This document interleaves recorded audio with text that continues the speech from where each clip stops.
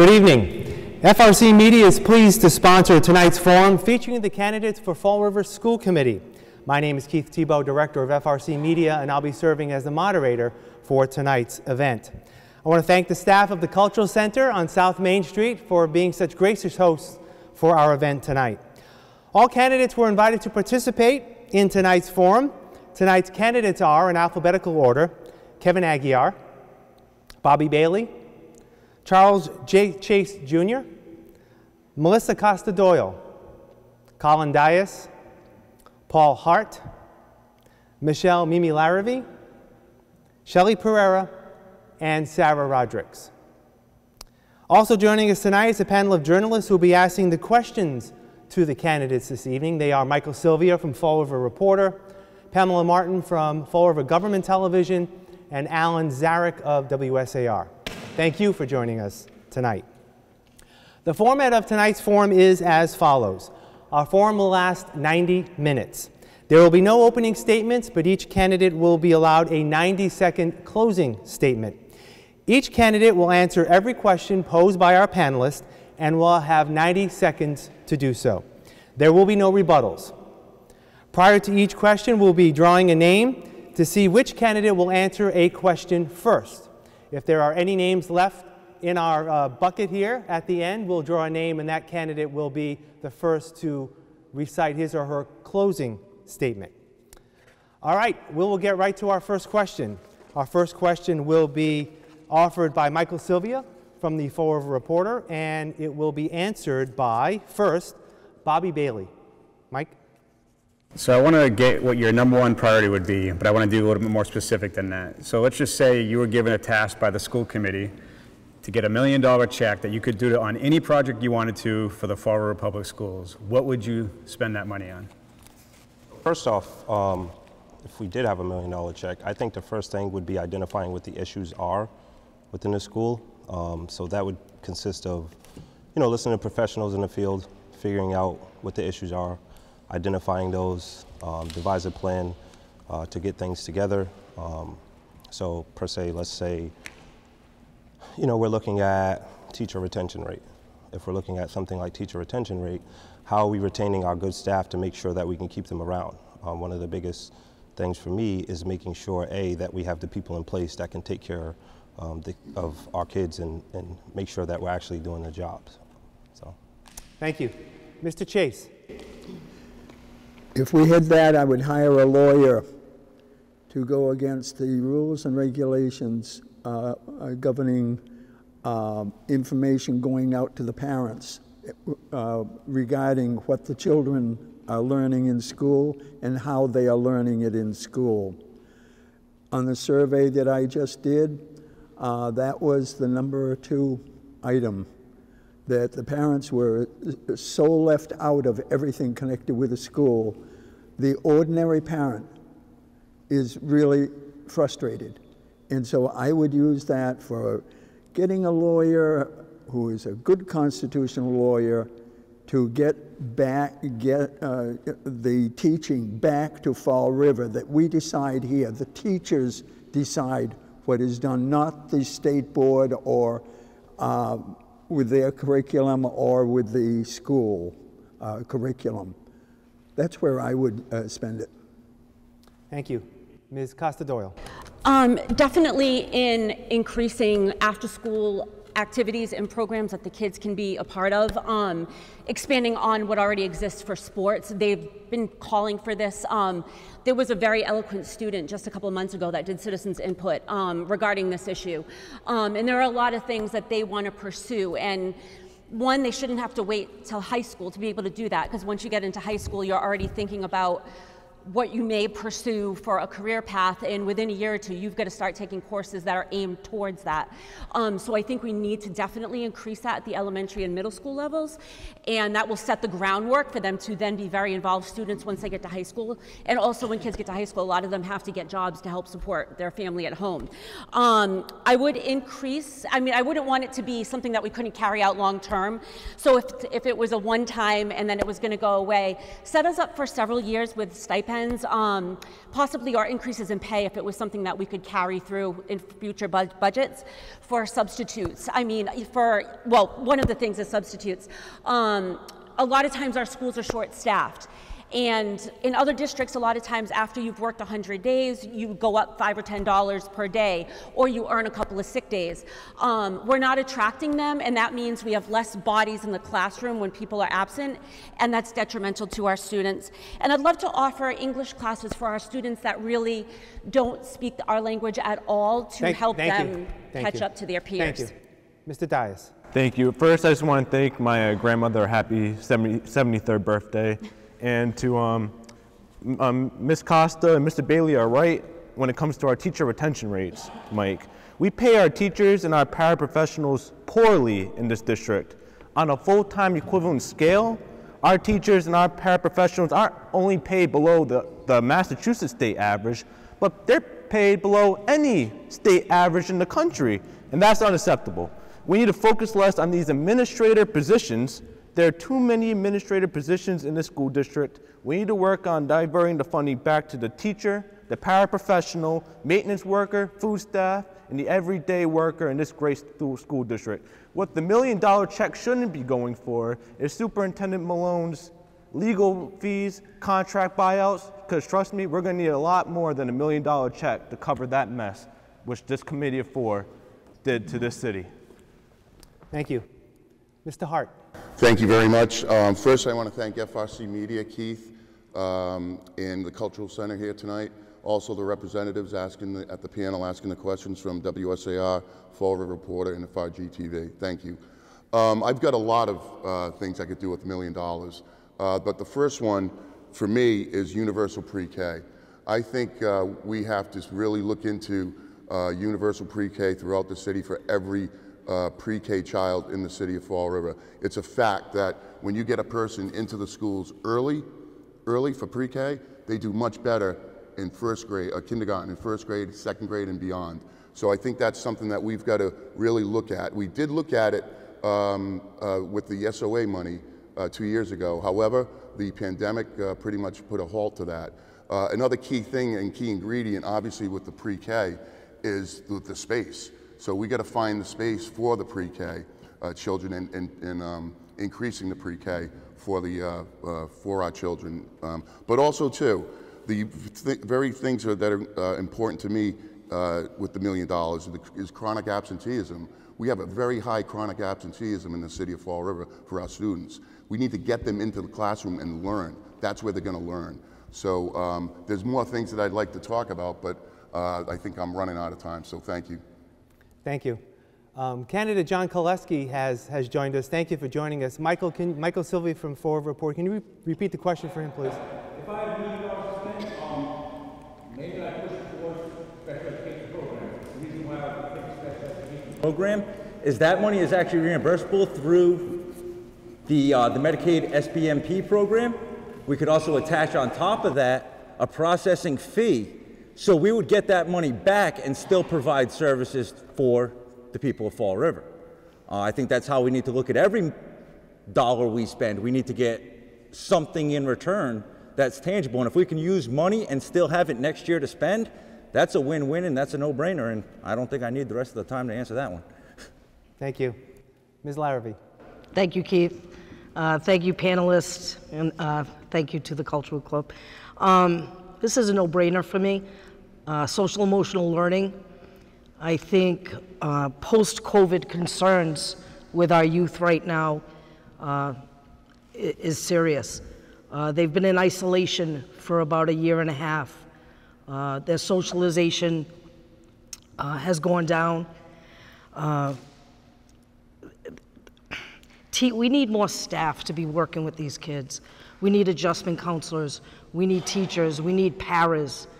We need structures in place, programs in place to address the needs of our students. Um, we have an assistant superintendent who is hired to put structures in place to focus on social emotional concerns. If we start addressing these concerns, our teachers won't be as overwhelmed as they are. We won't reach the teacher burnout in November and December. We need to get more support staff for our kids, and in return, we'll turn into support staff for our teachers. Thank you. Thank you. Ms. Pereira. Thank you, Mike, for the question. A million dollars, I probably have a million places that I would like to spend that. But I think the best bang for our buck is what uh, school committee member Hart said, which is universal pre-K. Every study imaginable shows us that it increases performance in our children. It helps with social emotional needs, and it also begins the process where we begin to establish relationships with parents. And as you know, parents being involved in education just allows their children um, to prosper so much. I read something, a study recently, that a fourth grade teacher could pick, eight out of 10 times, could pick the fourth grade students that had received pre-K. So this is not simply just for young kids, this is information and experience that's going to follow through, follow them through our school system. Um, as well as helping our parents. We live in a community where, I mean, I know when I'm a single mom and pre-K was expensive for my kids. So not only are we helping parents navigate that, but we're also allowing them to get involved in their children's education right from the get-go. So I think that's the best bang for our buck. Thank you. Ms. Rodrigues.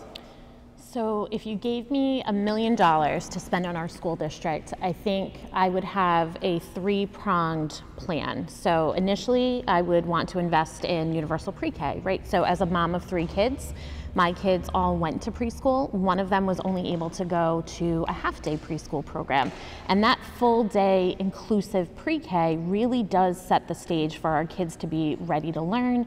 It sets the stage for our parents to become engaged in schools. And it sets the stage for those relationship building pieces that are incredibly important. The other piece to that is I would focus on building an inclusive preschool culture. So that way, from the preschool level, our kids are learning about social emotional skills. Our kids are learning about differences um, amongst one another. They're learning that it's completely okay for people from, for kids from different backgrounds to be in the same classroom with them. So it doesn't come as a surprise and we don't look at it as inclusion as a place. Inclusion becomes the culture of what we do. So I would focus on those pieces, and then I would also focus on a piece of family engagement, because if we can get them early, then we're gonna be able to keep them. So million dollars, three different places, that's absolutely where I would stay. Thank you. Mr. Aguiar. Yes, so uh, universal pre-K is something that is long overdue in, in Fall River. Uh, we have not only a million dollars, we have $20 million to spend. So if you look at this question, for anybody that's been on the committee before, you have to look back to what have we actually done with the millions of dollars that we've received. So for the last four years, let's say, the state has given the school department, on average, $6 million in increased money every year. What are we actually getting for that money in academic achievement, in overall achievement? So we have to look back to what we've spent money on. I think we've spent money on things that are needed. Additional counselors, uh, additional uh, supports in the classroom for special ed students. We've put the money into resources that are actually working in our schools. Now we have to see the results. So it's one thing to say we have money, it's another thing to say we use that money and now we're going to show you what the results are. To get back to the universal pre-K, we have been saying this, I know I've been saying it, uh, my colleagues have been saying this for, for a long time. We need to have increased spots for pre-K. We have subcommittee meetings where we get told, oh, we're going to increase 10 seats, 20 seats. We need to, in this district, do something bold. We need to actually spend the money to buy a place, have a universal pre-K across this entire district that's going to make the difference for this community for years and years and years to come. Thank you. Pamela Martin from FRG TV and Fred TV will be giving our next question, and it will be answered first by Shelley Pereira. Okay. Thanks, Keith. In 1975, just 1% of the schools in the United States had police on duty. Now, 72% of the high schools in the United States have full-time school resource officers, including, of course, our school and high school. In in Fall River. Is this appropriate to have full-time school resource officers? Is it necessary? I do think it's, nec- thank you for the question, Pamela. I do think it's necessary, and I'll tell you why. Obviously, our schools need to be safe for our children, and if we're putting children first, we need to make sure that when they enter those doors, they feel secure and they feel like they're getting taken care of. And the last thing we want tragedy can happen, unfortunately, everywhere. And our students have witnessed tragedy across the country by way of the media and the news. Um, it's much different for adults to comprehend that. So I think it is absolutely necessary. I think the changes that have been made um, in the public schools, few, going back a few years now, you know, I think we need locked doors. I think we need cameras at the entrances of doors. I think we need to make sure that our offices are right where people enter so we don't have parents or guardians perusing through the school to try to you know, get to a child or get to, you know, get to a teacher. I think all those things are necessary. And I think seeing um, police officers in school in that setting also really elevates the profession, I think, and, and provides student with safety and security and not fear. Thank you. Ms. Rodrigues. So Pam, what I'm hearing from that question is really a question of safety, right? So when we're looking at school safety, we're talking about whether where we're addressing external safety, right? So keeping the people that we don't want in the building out of the building and also maintaining the safety and culture within the building, right? So we're talking about those two things. I think if we're talking about having school resource, resource officers in the building, then we really have to look at continuing that practice, but with a piece of relationship building. So they need to really be integrated into the everyday culture of the school, as opposed to this is the person we call if there's a problem. So our resource officers do a really good job of trying to get to know our kids, but we have a lot of kids. So if we have more of those supports and we can really have them engaged in their everyday um, their day-to-day their functioning in the building, then we're going to get more out of that practice. Our kids are going to feel safer, our staff are going to feel safer, and then again, those relationship pieces are going to be there. So it becomes one more trusted adult that our kids can seek out. So I think we've got to look at those two pieces of the external safety and the internal safety. Thank you. Mr. Aguiar. Yes, so school resource officers are important when you look at the safety in a building. What we have to do, though, is take a real hard look at what are the laws related to what they can do and what they can't do. We have, uh, we've debated this in subcommittee as well as at the full committee. We're spending over $650,000 a year on eight SROs. Is that money that we could be spending on other things such as 18 or 20 counselors, uh, other folks that could come in, uh, security guards. There, there's different things. So we, when you look at SRO, we're going to be feeling safe, but are we ultimately safer? We got to have an actual debate about that. But people are very hesitant to even have that discussion because they feel like uh, if we don't have an SRO in a building, somebody could come in and shoot the building up.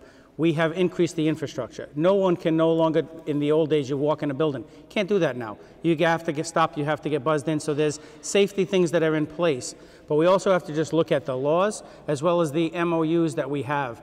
The MOUs, for instance, two years ago, we were told uh, we can't have the school resource officer help the administration maintain order in a building.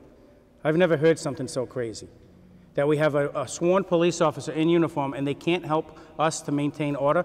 We changed that so they can at least help. But the laws are going along, no penalties, no, none of that. So we have to just be honest and have a tough discussion about whether we need three, eight, or 10. Thank you. Mr. Bailey. Um, I agree with Sarah um, when it comes to relationship building. Um, I think that's a key component uh, when we're talking, uh, you know, about the relationship amongst the, the SACs in the building, whether it's the administration in the building, the teachers in the building. Um, you know, I think that's exactly where it starts. Um, you know, obviously school safety is, is a big issue and it's increased, um, but I think we have to also look at a ton of factors. How do we get to this point? Um, what's the student population size? Um, you know, and, and, draw back and really take a step back and, and, and see where we're going with things. Um, you know, some of the some of the biggest things, you know, for me going around and talking to some of these students, uh, you know, we just have to make sure they also feel supported.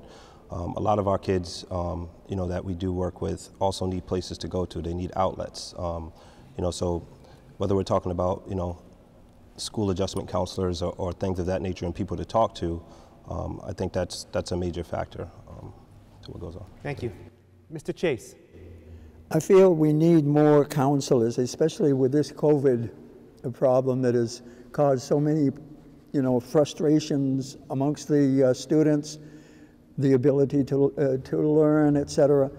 For that reason, we need more counselors that are well qualified uh, to assist these students to get over their fears, their possible suicides, things such as this.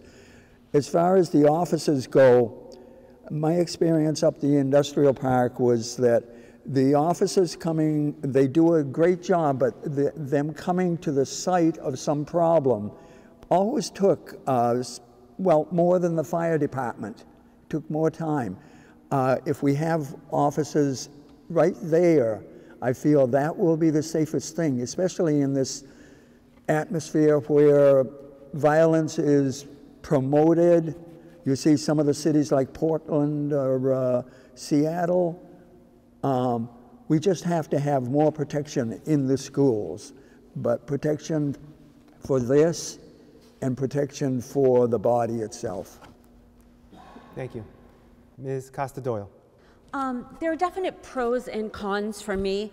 Um, I think on the pro side, we've all lived through decades now of images across the news of mass school shootings, um, which are horrific. And obviously, um, you know, if we had people right on site, you hope that maybe we would have been able to intervene more in some of those um, situations, you know, before the injuries and and worse were are allowed to um, grow during the time of waiting for response.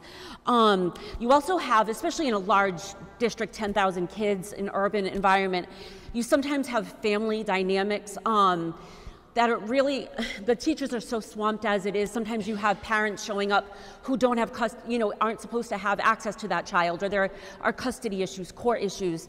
Um, so sometimes in that sense we could use the extra security. And i also when i worked in the middle school and high school levels um, i've definitely seen you know a lot of fights. I've seen violence. I've seen teachers assaulted. Um, my mom own mom was she's a she's a retired para was assaulted several years ago by a nine-year-old. Um, not that I want to see a nine year old arrested by any means. But I mean, it does happen. Um, on the flip side, though, a lot of the acting out and aggression is sometimes part of a child's men- mental. Um, you know, illnesses or special needs. And as long as the officers are on board with knowing the kids in the building every single year and who has those challenges, we can prevent Thank them you. from being over policed and you. harmed. Thank you. Mr. Dias. Thank you for the question, Pamela. Um, I think Ms. Um, Rodrigues and Ms. Pereira hit the nail on the head. It's a safety issue. We need to protect our students. We need to protect our kids. And I agree with a lot of what my colleagues said on the stage here, so I'm just gonna go a little step further. I would like to see the parochial schools and the charter schools also have an SRO. We, they, we have kids in the city. We need to make sure they're all protected, maintained. We don't need to have a tragic accident happen. And I would like to work with the city council to see maybe an ordinance passed to see these parochial schools, the charter schools have on, on place at least one SRO so we can make sure we feel that the parents make sure we feel safe, the children can feel safe, and there's nothing wrong. I don't think there's anything wrong with that.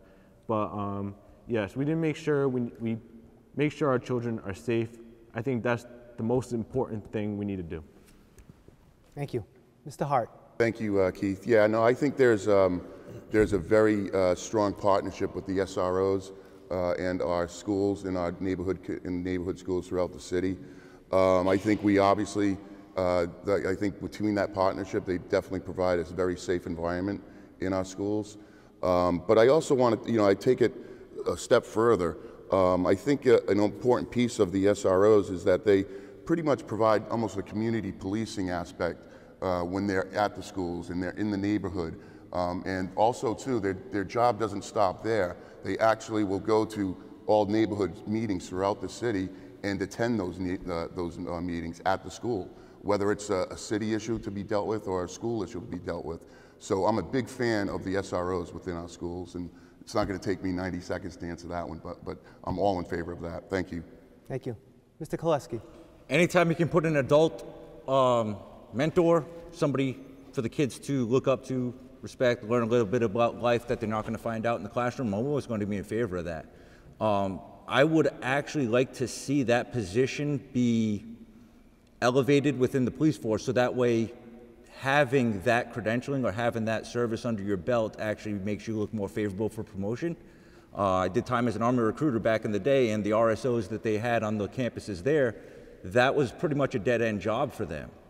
And that's very sad because the individuals they're interacting with are going to be the individuals in five or six years that may be getting pulled over on the side of the road, and there's nobody to say anything nice about you in that room. And, and that's something very scary. I remember growing up, we had the, the neighborhood police officer was Officer Donovan. If there was a problem, that's who you went to. I, I don't know what happened, but it, we just no longer have that police officer that's in that area, and that's their area of responsibility, and everybody knows them. And putting them in the school alleviates a lot of that. Thank you. Ms. Larrabee. Thank you. Um, I do think it's necessary, especially in the times that we live in now. Uh, it's vastly different from the 1970s. Um, I totally agree uh, with some of these people up here about the mentoring aspect and building relationships between these SROs. Years back, we used to, we used to see the SROs in the community all the time. They used to go to the basketball games. They used to, uh, you know, check out what was going on at the parks. Um, but I think we really need to get back to them just not be being uh, having that stigma of showing up to the fight that's happening in the cafeteria. We need them as mentors. We need them for that caring adult in the schools. Um, he just said, uh, spot on. The more caring adults we have in our building, the better.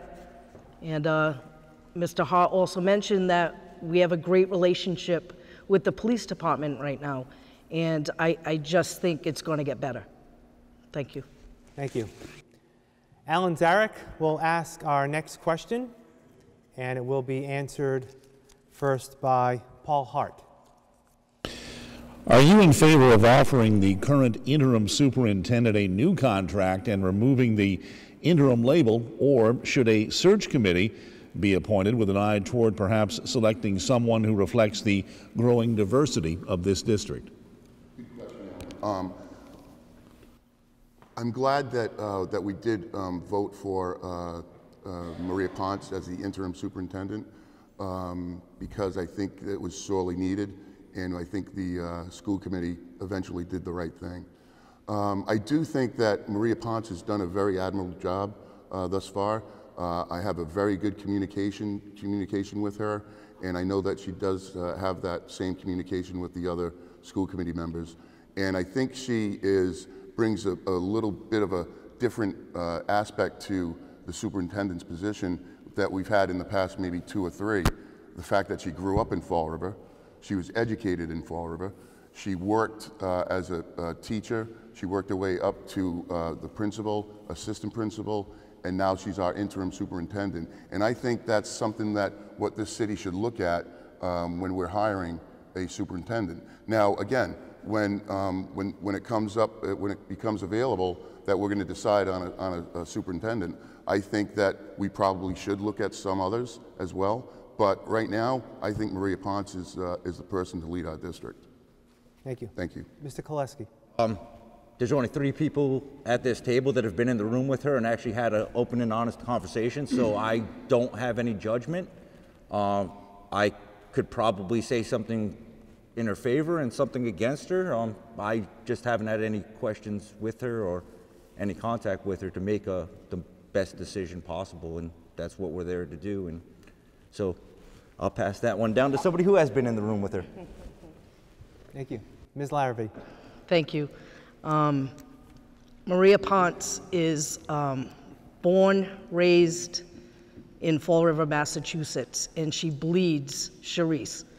So she, um, she is a very, very intelligent, uh, she person, she leads by example.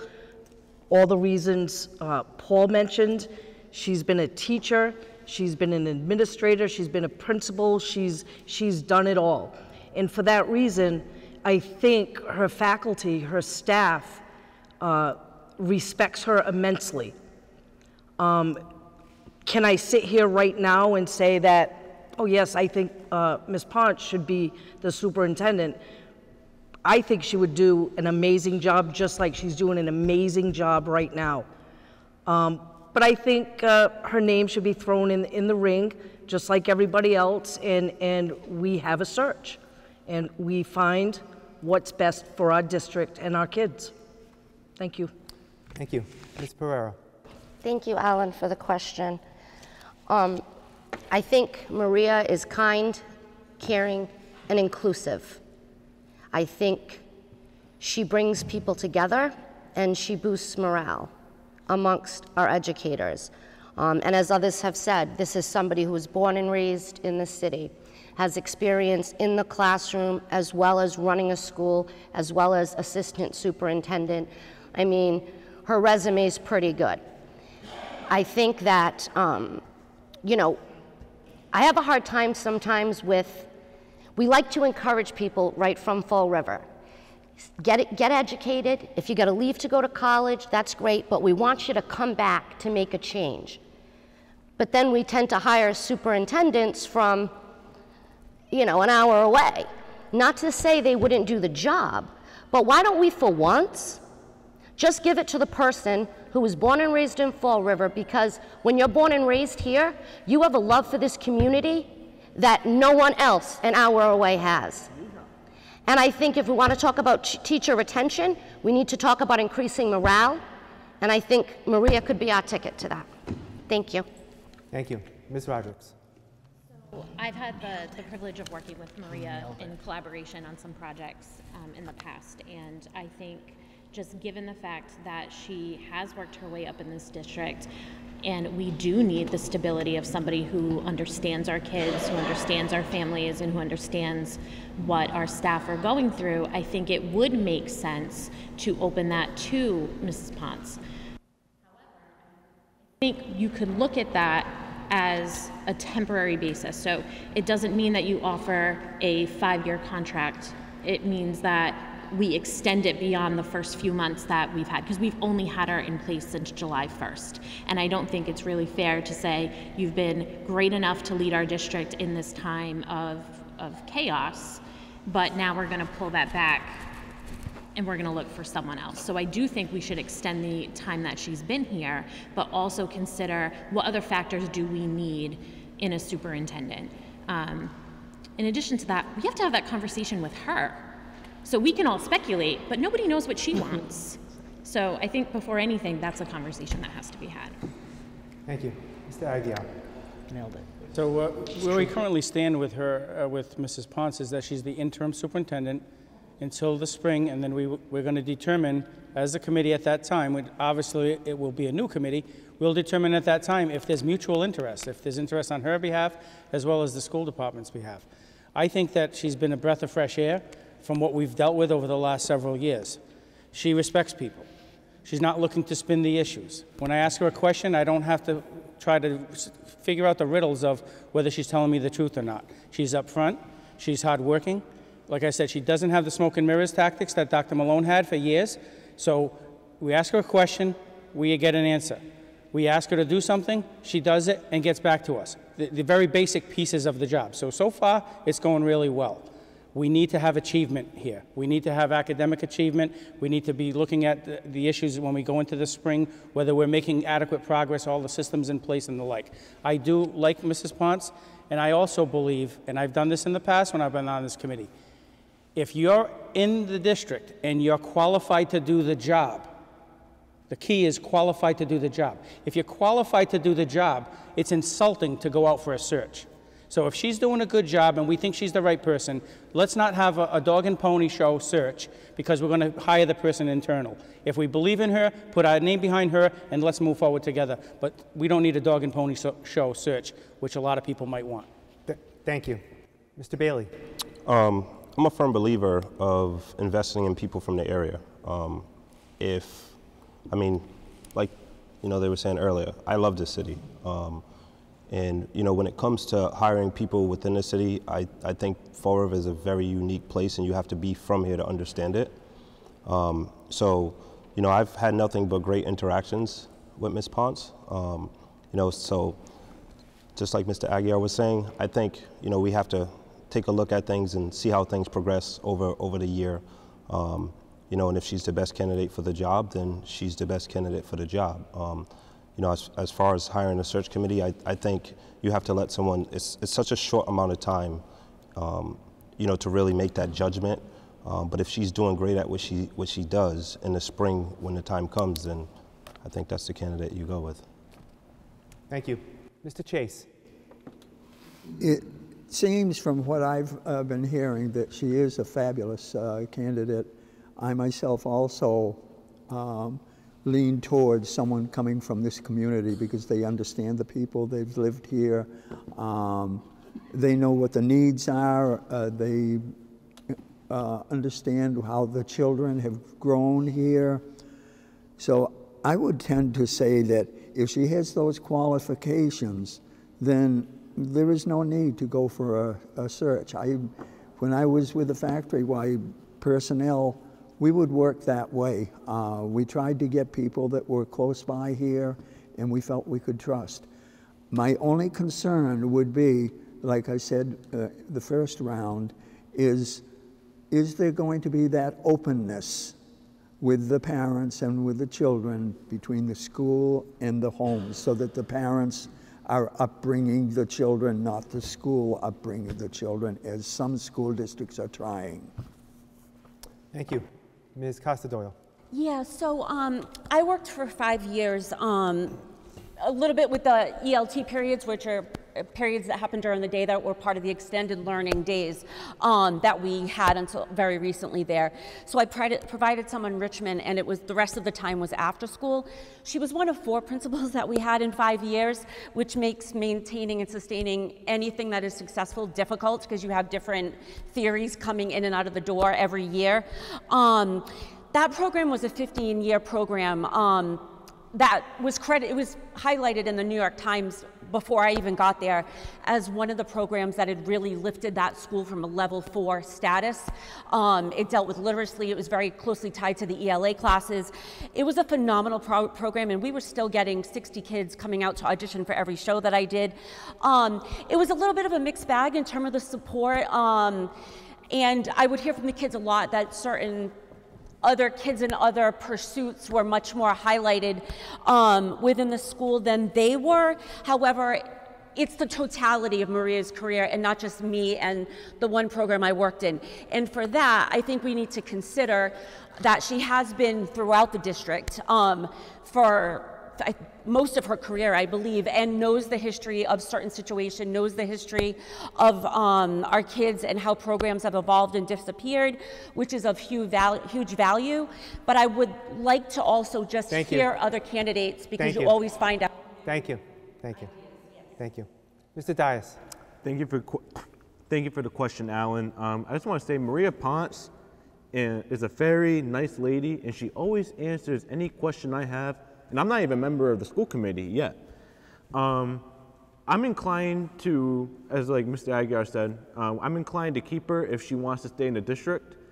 If she doesn't want to stay in the district, I think we should open up the search committee and we should hire the most qualified person for the job. I think um, doing research, these search committees in the past for Superintendent Malone have been not very transparent and I'm a candidate who will bring transparency to the table.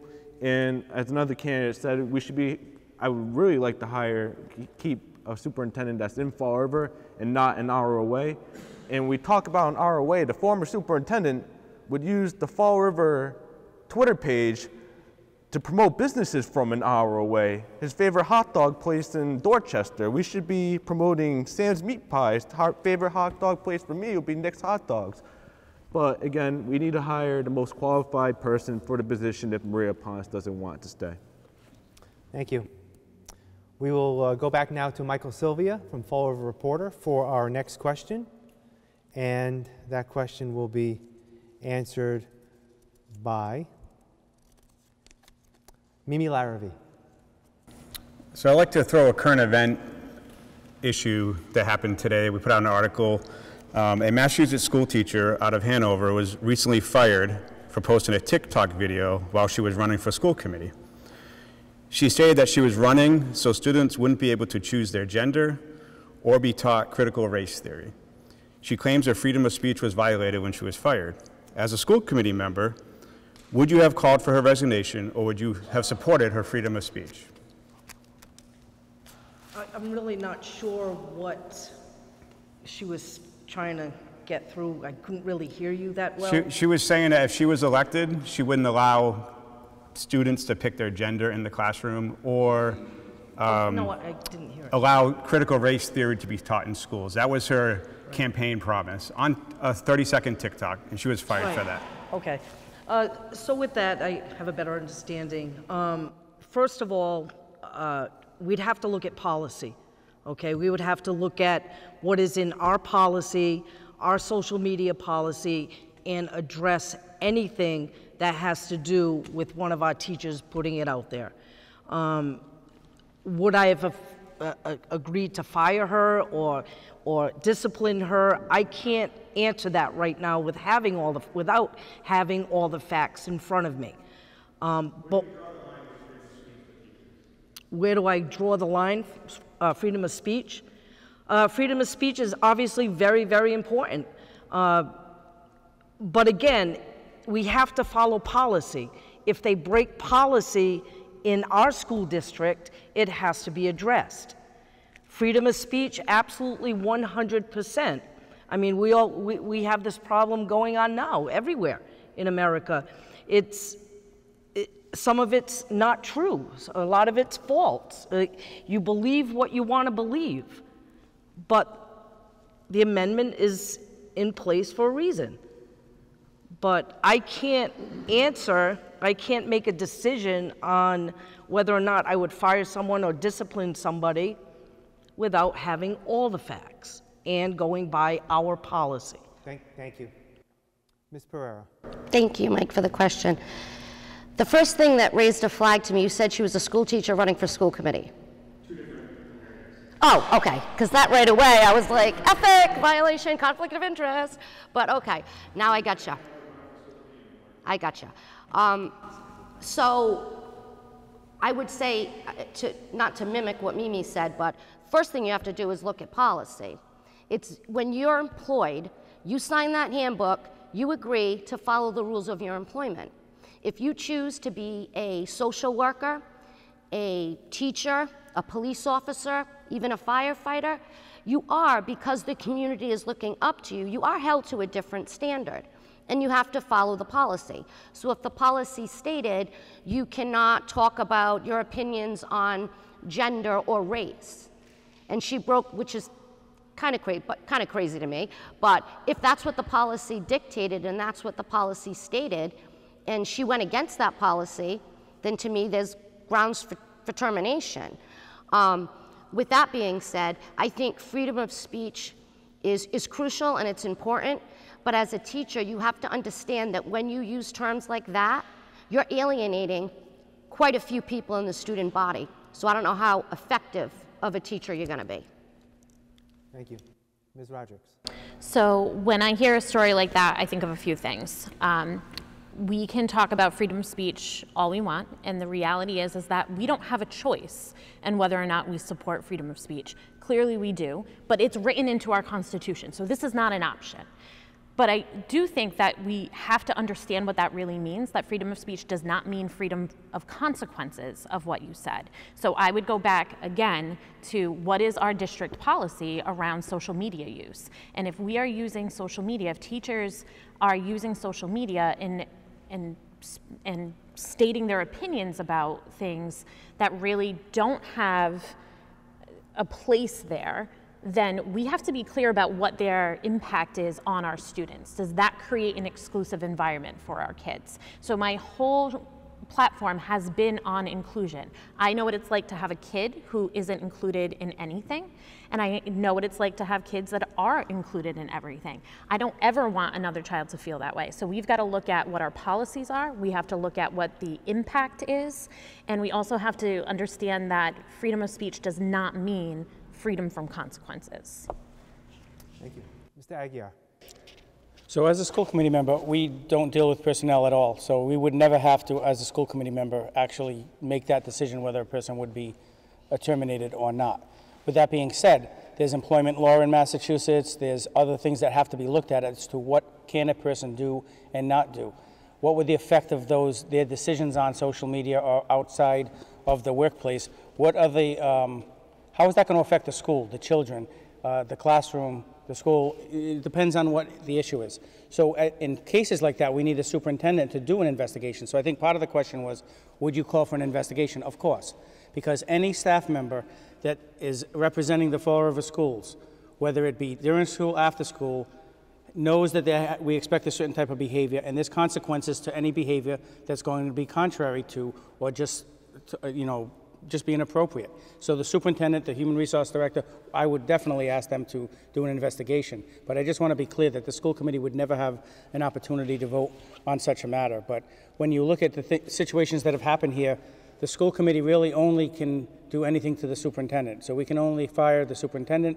We cannot do any discipline to any other person in the school department. Uh, I was very consistent during the superintendent's issues that we needed to do a thorough, full investigation up into termination. I didn't win that vote, but that's what we should do when we have it, and I would hope that the superintendent would look at the issues as well. Thank you. Mr. Bailey. Um, you know, I, I, I, agree with the rest. Um, you know, I think you would have to look at policy and then also, um, you know, see see what is what freedom of speech consists of, right?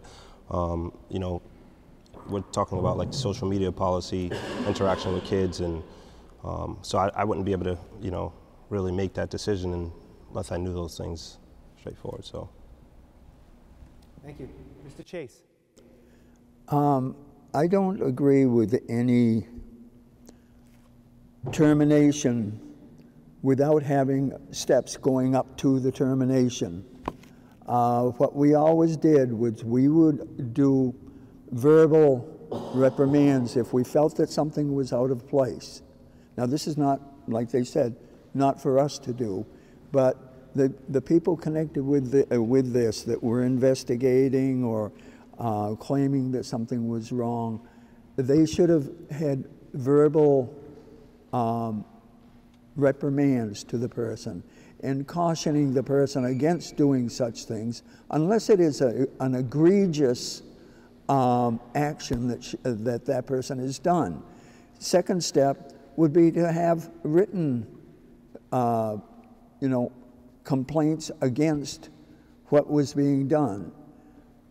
The final thing being to go to court, and this is a step that the courts will very much agree with uh, that you've gone through these steps.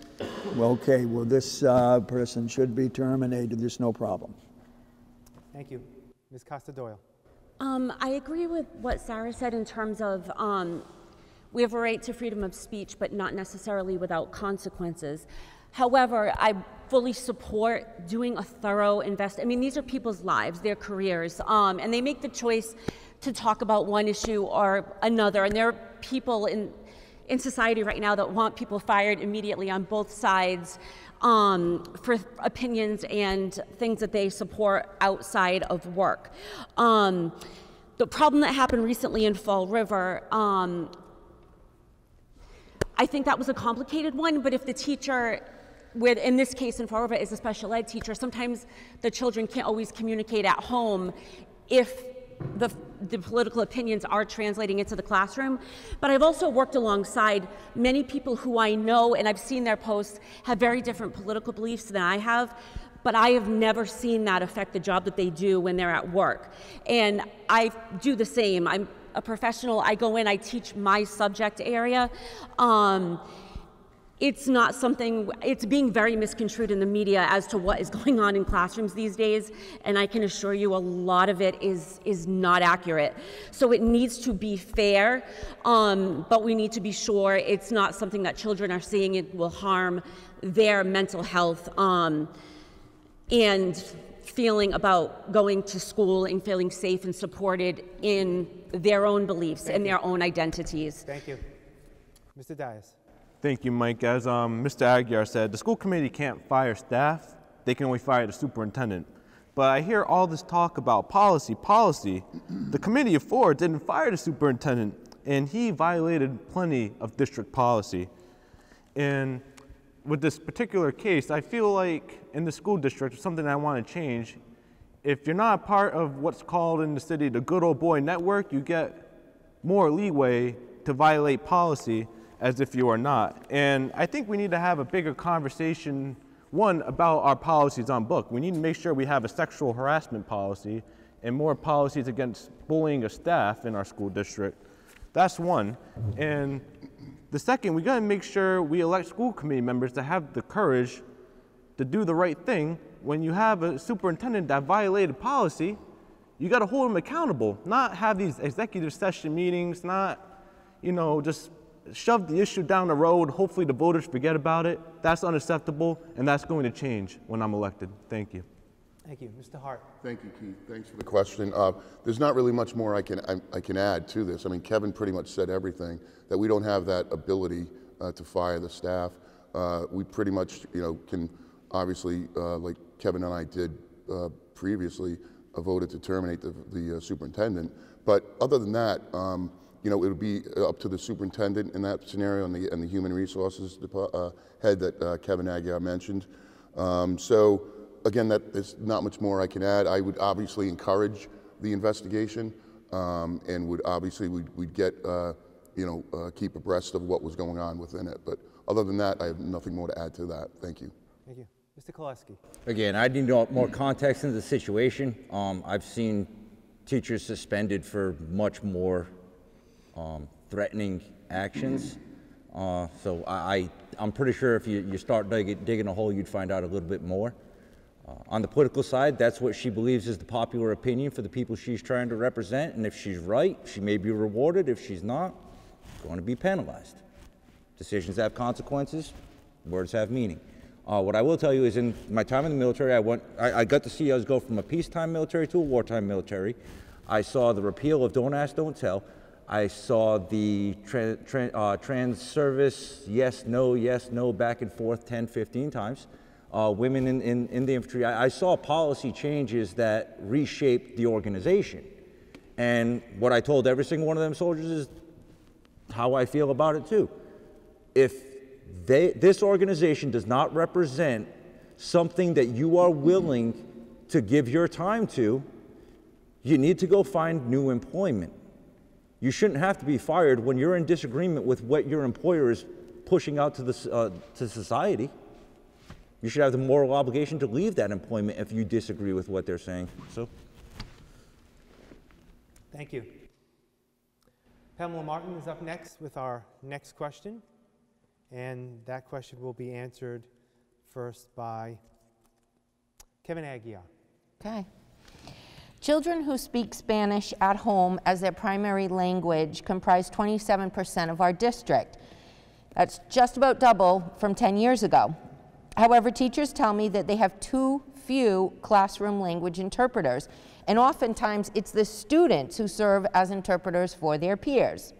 And so, while that may be kind and helpful, should fellow students have that responsibility? But the district is having difficulty attracting and keeping language interpreters. How do we solve this? Well, the, um, obviously the numbers speak for themselves, but I'm not sure whether you're referring to in language interpreters. So in the classroom, we have bilingual teacher assistants, we have bilingual teachers, we have both people that can speak multiple languages. So they're not necessarily uh, called interpreters, but I, you know, at some point, I don't believe that students should be obviously translating. That's not appropriate. At the same time, the laws are, uh, are such too that the students are going to be learning English. So we're working on a dual language program that they just started. I'm not sure how. uh, I guess it's off the ground. where, where they're going to be learning 50% of each. So they're going to, we're going to try in this district to do that across all different schools, which is an important piece. It costs money, obviously, but it, I think it's money well spent if, it, the pro, if the program is run properly and we're getting the students to benefit from it. So it's in the first year.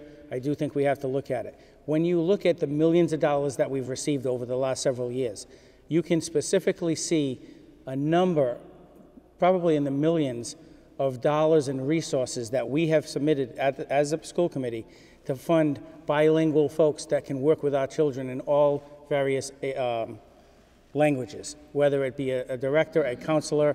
Uh, we have bilingual guidance counselors now. We have school adjustment counselors. So we have increased by tenfold over the last three years the money and the resources based on the numbers that you um, talked about.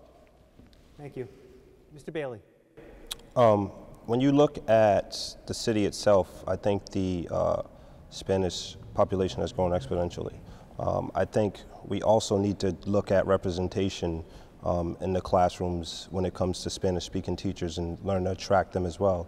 Um, not just TAs, um, you know, learning to attract actually people who look like them and can relate to them and speak their language. Um, I think there's so many layers that go into that. Um, although you have kids that are translating, um, I think those kids should be learning and not teaching a class because that's they're actually not no longer students when they do that. Now they they are actually the TAs, um, and we're not putting those kids in the seats to be TAs. We're putting the kids in the seats so they can learn.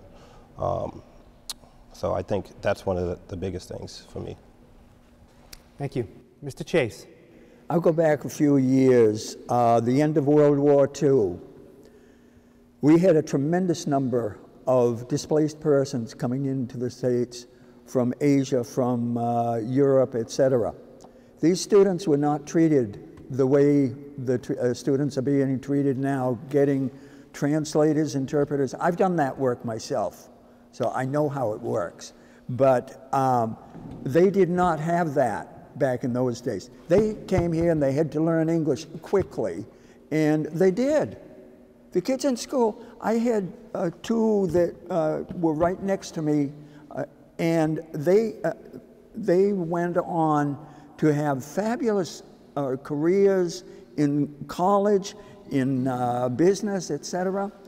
We need to place more emphasis on English as our language here because that's where uh, most of the business is done and that's where they're going to be successful. It's fine to uh, placate them by having that language out there, but let, let them have the time that they are forced to learn English. They have to learn English much better. That's where, the, where any money should be spent. Thank you. Ms. Costa Doyle. Um, this is a problem that goes back a long way. I'm 46 and my mom became a para once I started kindergarten. She worked at the old Sylvia and Hartwell, um, Connell, and then she finished her career at Spencer Borden. But my mother actually, she never got paid extra for it, but she translate. She's fluent in Portuguese. And all that 40 years ago, she was always called to the office to get on the phone and talk to a parent who didn't speak English. She translated letters that had to go home into fluent Portuguese. Um, so it's a long-standing problem, and it's just evolving in what the language that's needed is now.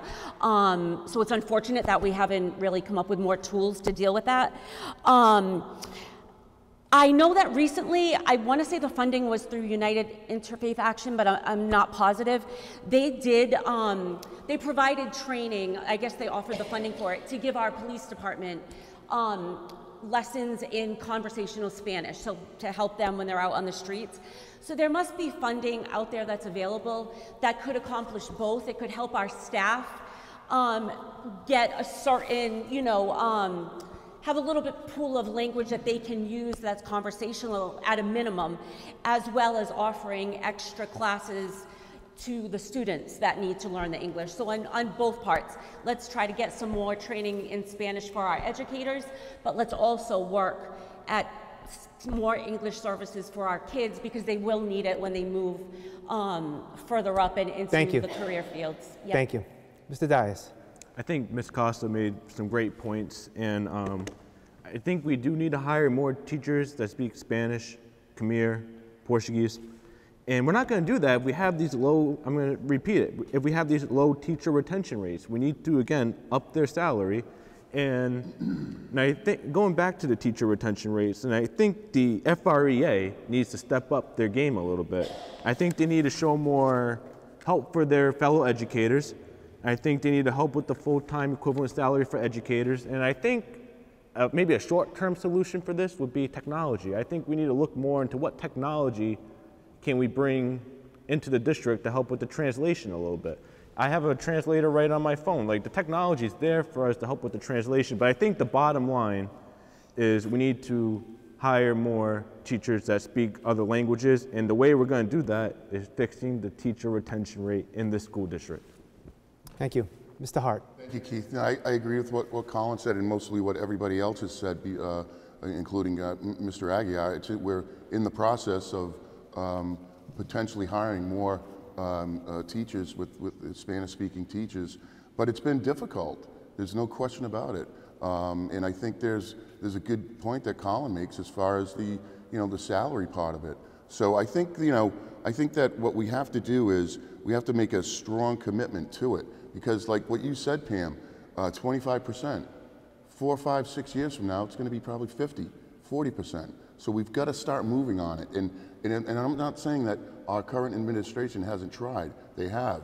but we've got to just do a better job uh, at, at, doing this because it, that's going to be uh, an issue. And I, have heard it many times with the students interpreting.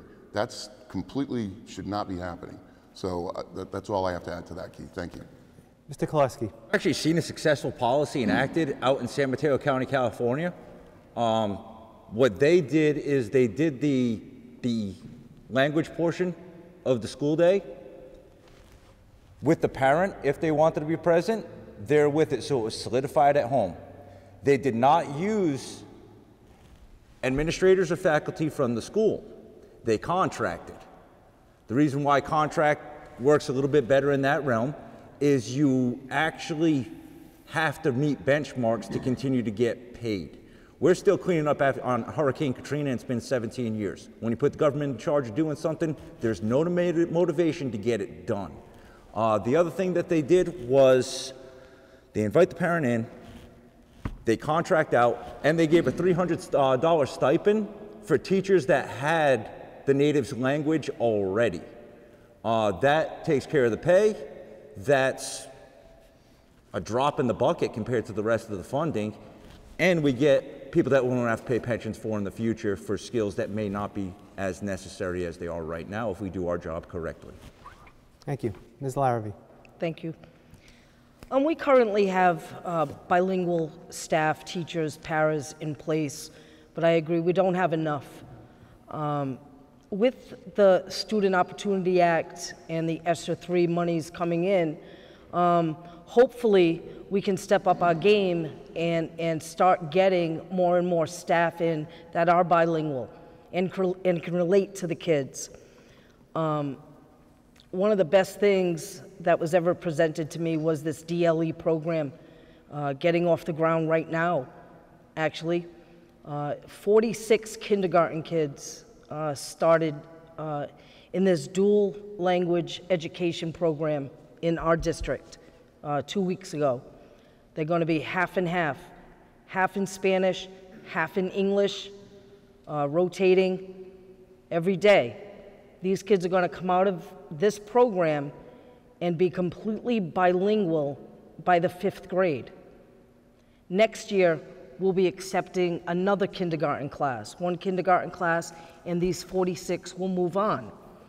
These are the out of the box ideas we need to sustain uh, uh, what we're doing here in our district. It's important work. Thank you. Thank you. Ms. Pereira. Thank you. Thank you, Pam, for the question. Um, it's obvious that we've moved to a much more diverse community and hence a diverse classroom. Um, to answer the first part of the question, no, I do not think that a student should be tasked with being an educator. I think that translations, um, when we're talking about social interactions with peers, recess, that's fine, that's learning from each other. Um, we obviously need more diversity in our school system in general. And then to go on to the second point of how do we recruit that, I could be mistaken. Um, some of the school committee members would probably know, but I believe I was watching a school committee meeting not too long ago, and I think this is a good way to go, where they went out and got college students to come in, whether it was an internship or what have you, and came in to be mentors. Now, keeping in mind, these don't have to be college students who are choosing to study education. They can be college students who are choosing to study sociology. But when they get in that classroom environment and realize the change that they can make, many of them may decide education is for them.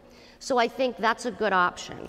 Um, and I just want to end by saying that, um, just so the people at home are aware, I'm very aware of the responsibilities of the school committee being policy, uh, curriculum, and budgeting. I didn't take that as the question Mike was asking. I thought he was asking if I agreed that the school department terminate her. Thank you. Thank you. Thank you. Ms. Rogers. So the short answer to that is no, students should not be responsible for translating uh, for other students. And I think everybody here can agree with that, that that's not the role of a child. Um, the, the other piece to that is how do we recruit more teachers that are bilingual that can reflect the needs of our community? Um, I think we have to make a concerted effort to have multilingual speakers at every level of our school department. So a teacher isn't going to want to come here if their, their language capacity isn't valued, right? So we have to show that at all levels of our school district that we have folks that value this, that this is an important piece for us. You know, to say that we should only have them learn English really concerns me because that's not going to help them compete in a global economy. So if we're setting our kids up for success, knowing that kids learn two languages really does support um, their future success is really important. And so why wouldn't we want to set them up from kindergarten? Why wouldn't we want to set them up from early ages? Thank you. Looking at the clock, I want to try to get one more question in before closing statements, but we're going to have each of you answer one minute time frame instead of 90 seconds for this last question. It'll be from Alan Zarek from WSAR, and Charles Chase will get the question first. Six of you will be elected, of course, in November, and I'm curious what each of you might do to ensure that the new BMC Durfee building will be cared for in a way that, that's, that its predecessor wasn't. Let's be honest with one another. That building was allowed to die. Now, will this building be looking as good 40 years from now? Will it still be upright? What can you do to ensure that? First of all, I I'm, have always been opposed to the new building. It, it was leaking before people were going in there. Um, I come from a, con a contracting family. The, there were methods that could have been done to save the old building. Um, the new building looks nice, but if you don't take care of the roof, um, I think you're going to have some major problems down the road and not too far off. We have to have an outside, non connected to any politician here in the city, an outside firm come in, do an evaluation of what should be done to preserve it for the long term. Um, that's my best suggestion. Thank you. Ms. Costa Doyle. Yeah, it might be a good idea to use, um, you know, some of the money that we have in relief right now. Um, now would be a good time to do that, to maybe get an independent um, contractor specialist in this area to really let the committee know a solid plan to that they can then be the stewards of for, for years and years to come to make sure that that does not, that things are not attended to um, in the way that they should be. I know with this building, I've heard, I mean, I've heard rumors and things like that, but there's been a lot of people connected. I believe even Superintendent Malone had a, son working or had um, a role in that building. Enough, enough. Like we need just outside professionals tell us what we need to do and let the school committee figure out how we can make that happen. Thank you. Mr. Dias. That's a great question. And um, and that's what I've been talking about this entire campaign. Um, so my ads on WSAR, my platform, the biggest thing was maintaining schools, and it's a twofold plan. One, we need to hire an outside construction firm to audit all of our schools and submit a report to the school committee outlining all our structural issues and solutions to them. And secondly, would be to create a maintenance committee with experts in the maintenance field to hold regular and most importantly, public meetings to discuss and have solutions to the problem with these schools. You know, we shouldn't have um, Durfee Building Committee meetings which aren't publicized, aren't televised to the public, and then some of these members on the Durfee Building Committee, you have them, they're also, there's a conflict of interest there because they're also a part of the Durfee, like they're contractors for Durfee. We need to make sure we have outside people who do the right thing every day for this community. Thank you. Mr. Hart. Thank you, Keith. Thanks, Alan, for the question. But I do believe that um, there needs to be some type of case maintenance uh, program for not just Durfee, but throughout the whole district. I remember being on the uh, city council, um, and that was one thing that we uh, made, wanted to make sure that those particular schools that were being built, um, that, that they had that a, a case maintenance uh, program with them, and I think uh, attached to the school with the budget. And I think that um, they did a pretty good job. Uh, however, I do think that um, in this in this case, for you specifically said Alan Durfee, I think it's a wise thing to maybe uh, uh, start and develop a uh, maintenance committee for that school with professionals. Thank you. Mr. Koleski. One, I'd have to see the contract that was done for the school to see if there's any upkeep added into that. I know when I've done property uh, contracting in before, I definitely had, hey, if this breaks in the next year, you got to do something about it. Um, I'm not sure it's written in that aspect. Uh, for regular cleanliness and, and, and upkeep, I, I think we can go back to having some, some of the students taking some pride in their environment. Uh, no different for them sweeping up the floors to us going outside clapping the, uh, the chalk erasers together. Uh, for things that need minor structural repairs, I keep hearing about how good the, uh, the Durfee vocational program's going. Give them a little bit on-job training. If it gets troubleshot by the, uh, the instructor and saying, hey, this is something we can't touch, find the best solution possible. But also look at how long do you think that computer, that, that building's gonna last? Look at the depreciation, set aside. If you use it, great. If, you- uh, uh, if you use it, sorry. If you don't use it, keep it for the next time around. Thank you. Ms. Larrabee. Thank you. Um, I agree. The um, D2, Durfee 2, I guess we've been referring to it as, was a disaster. Um, and I don't think they had any planned maintenance uh, involved. But um, as a district, I do believe we need a maintenance plan. Um, but I think it has to go through our facilities. Uh, assistant superintendent should be the one to present to the school committee on, on what he feels uh, are the necessary steps to protect our schools. And it's not just Durfee, it's all our schools. Um, just because Durfee is the newest, uh, it doesn't make it the most important. So we need to uh, focus on all schools in our district and make sure we have plans to keep them working, I guess. Thank you. Ms. Pereira. Thank you for the question, Alan. I'd like to think we, that Fall River has learned their lesson, and I agree with the majority of people at the table. We need a comprehensive maintenance plan um, through facilities, people who are the best in the field, and we need to make sure we keep, we keep that up because we have a beautiful school.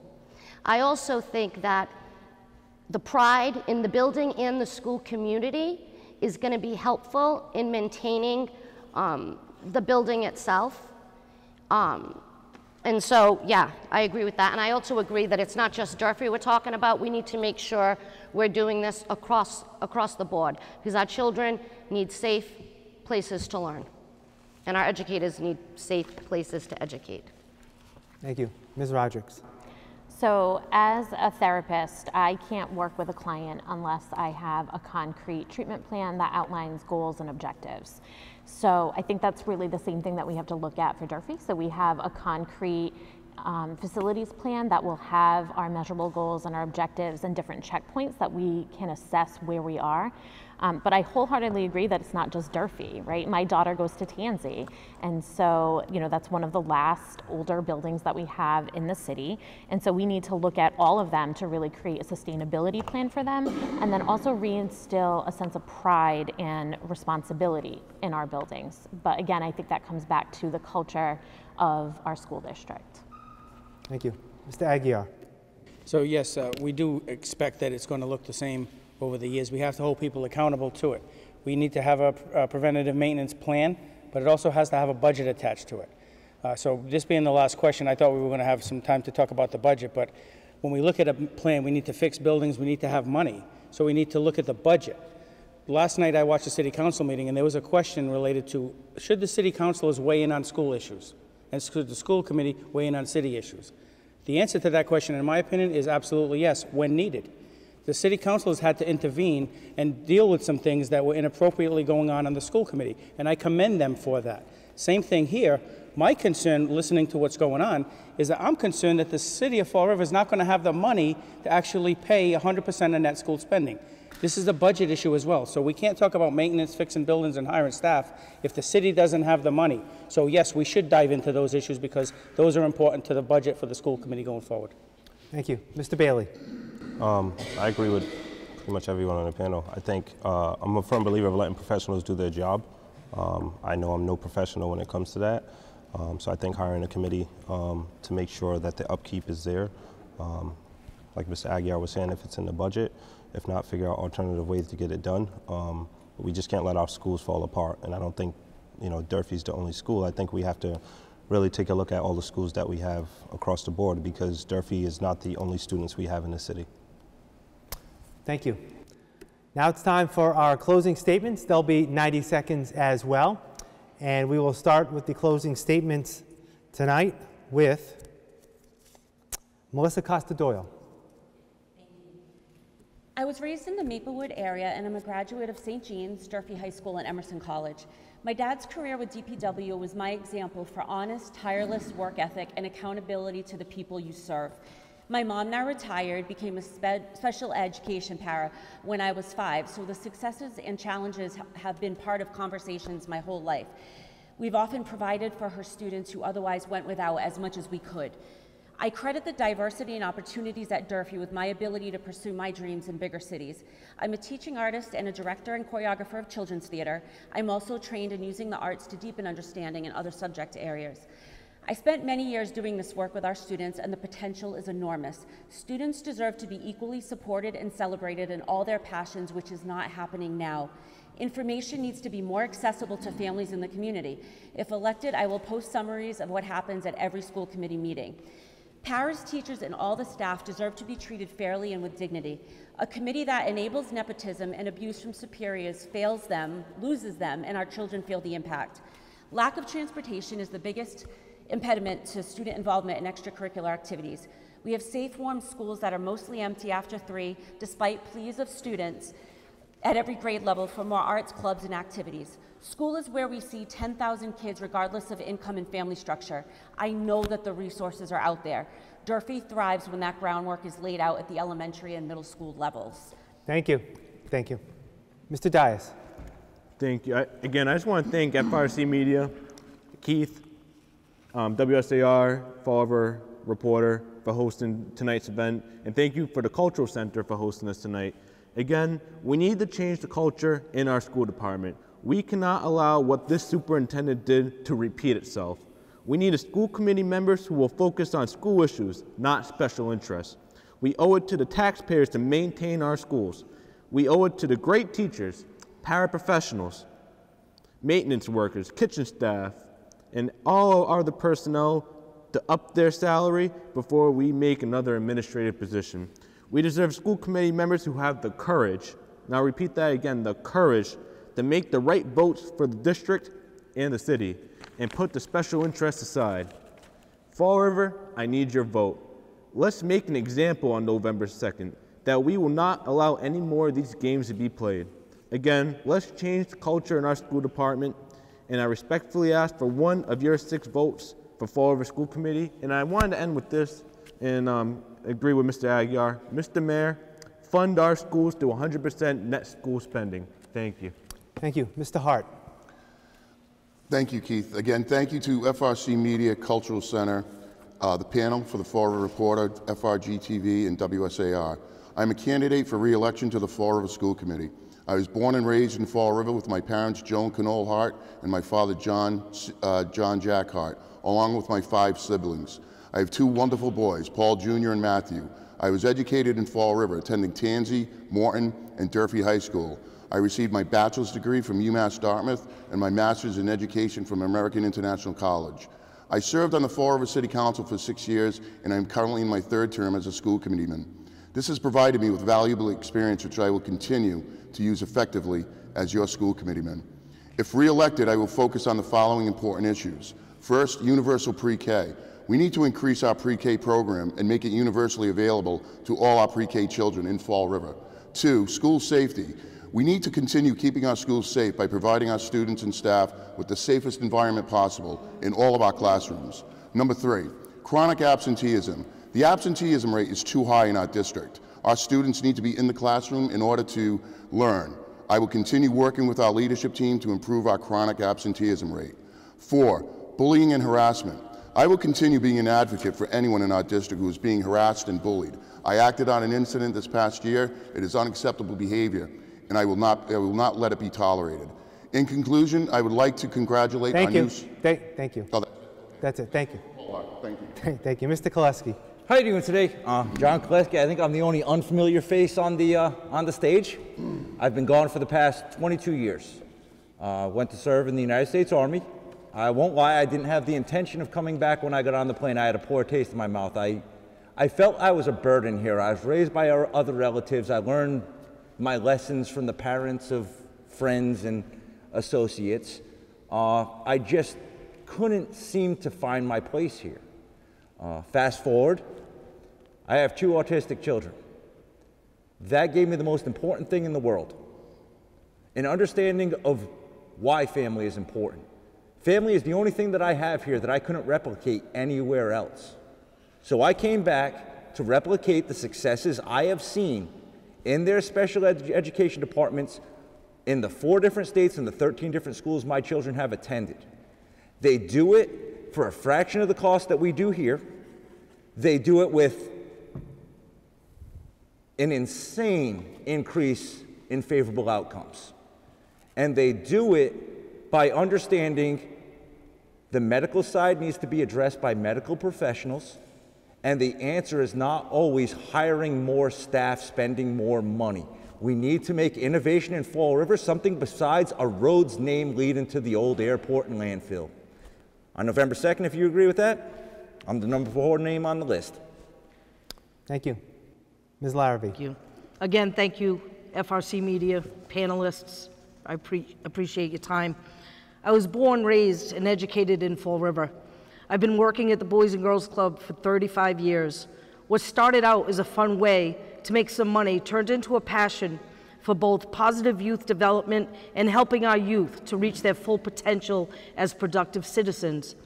Year after year, I've advocated for the academic careers of our youth, whether it be reaching out to coaches, guidance counselors, teachers, and even administrators. When running for my first term on school committee at Youth Candidate Night, I made a promise to them to bring the community to the youth when in need. School community partnerships are so important. Two months into my first term, COVID hit. On top of all my school committee responsibilities, I remained focused and remembered the promise I made to the youth. I formed a committee with community members, teachers, and recent Durfee graduates.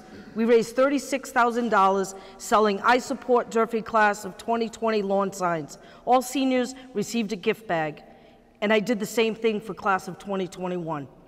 The best thing about this school community partnership, I was able to keep my promise to the youth.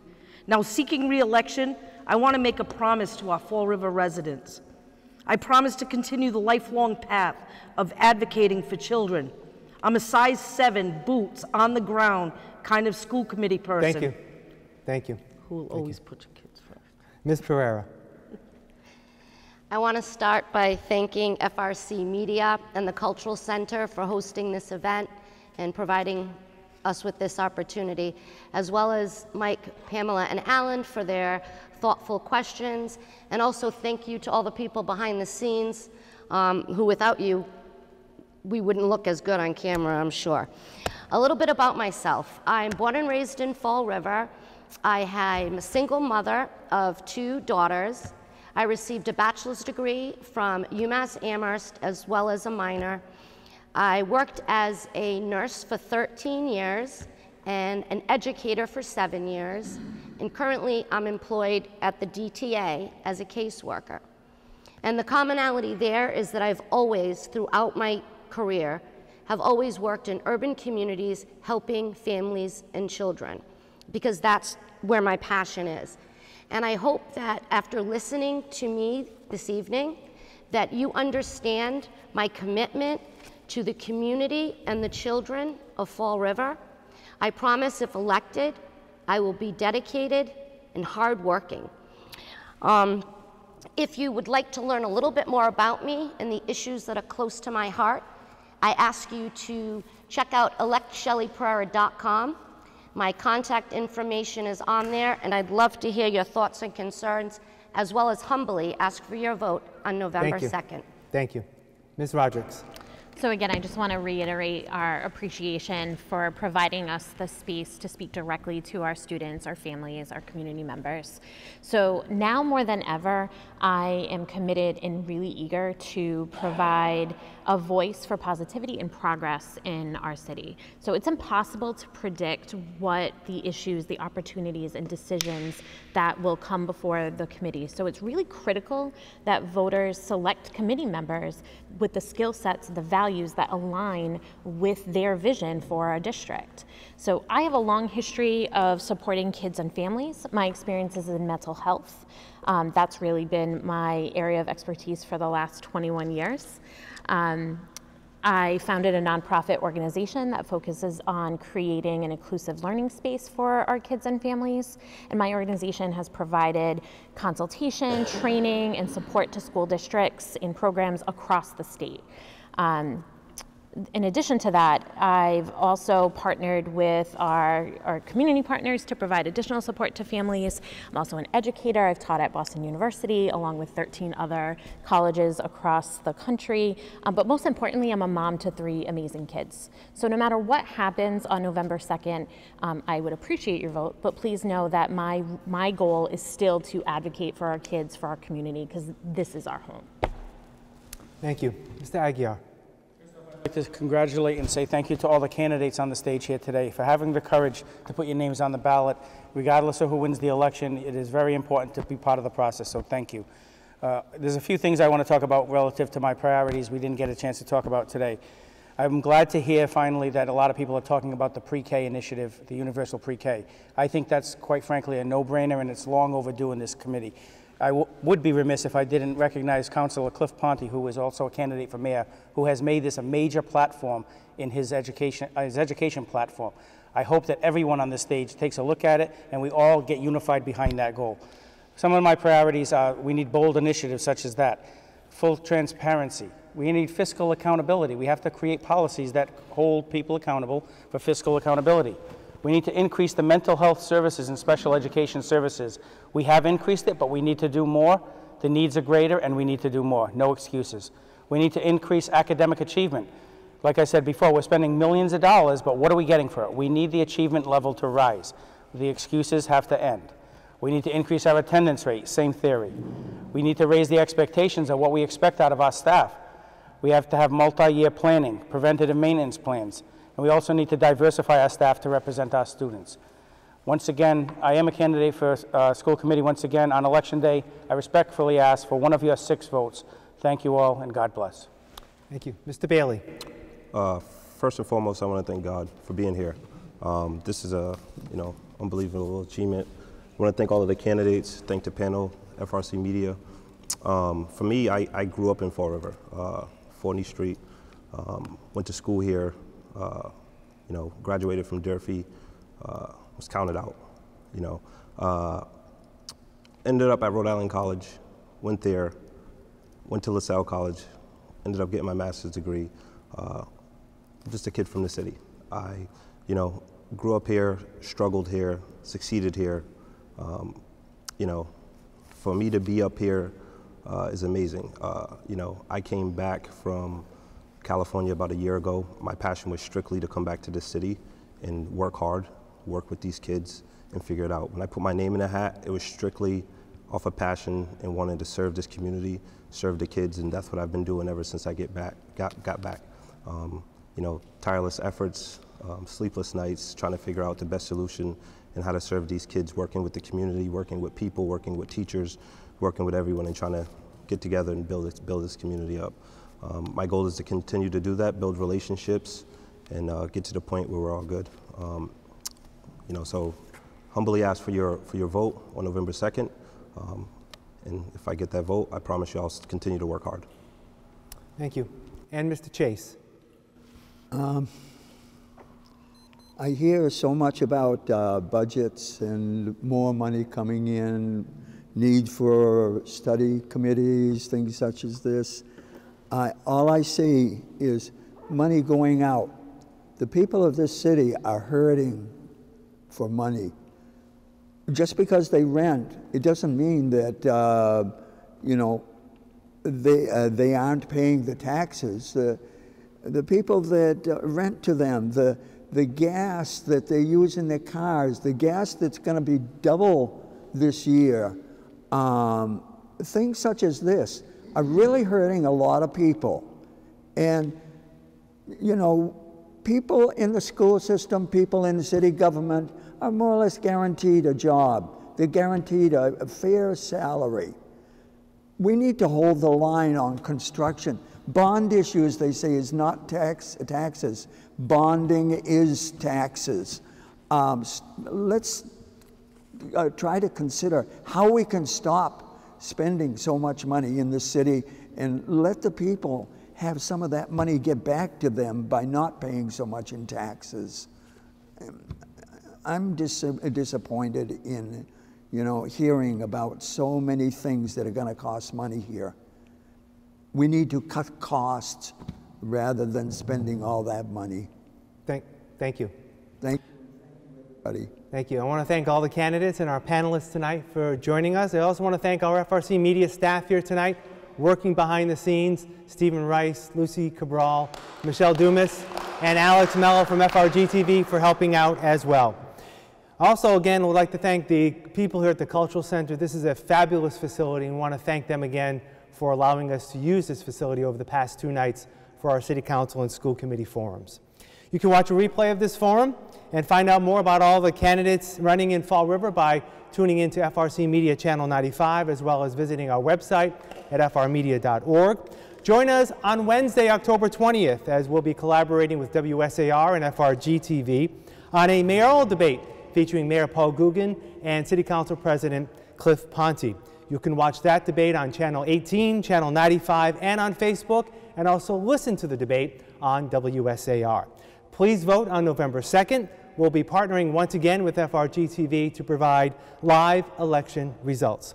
Thanks for watching and have a good night.